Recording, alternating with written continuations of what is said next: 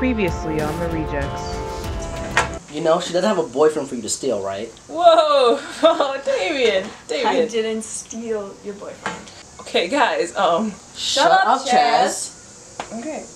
And I didn't steal him. He came to me weeks after you broke up, and I didn't want to let him go. Is that the type of person you want to date, Chazz? Really? I, we can talk about this later.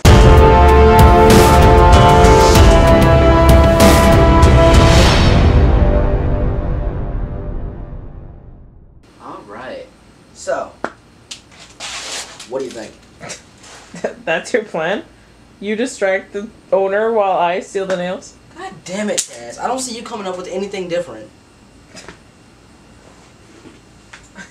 I mean, did you really have to put it on a board? Yeah, it's it's you. I think you would have beat that. Alright then, let's do it. You, you mean right now? Yeah, I mean, it's a simple enough plan. Let's just go.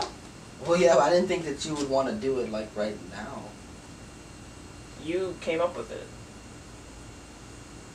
Let's go. Okay, well, if, if we do this now, we can't do Dick face. what we did at the last store. Alright, God's on it. Wait, that you do know that doesn't make sense, right?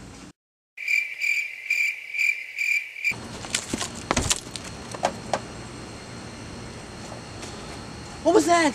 Why would you do that? What is wrong with you? It just seems like we're playing 21 questions This today. is not a joke. If we can't get this right, we can't save our mom's house. What is wrong with you? Why can't you get anything right? I mean, I got these, didn't I? You did. You actually did. Yeah. Why, why did you tell me to run then?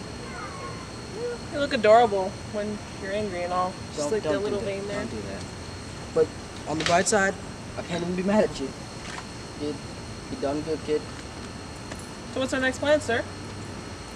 I, I don't know. and you're the smart one. Shut up.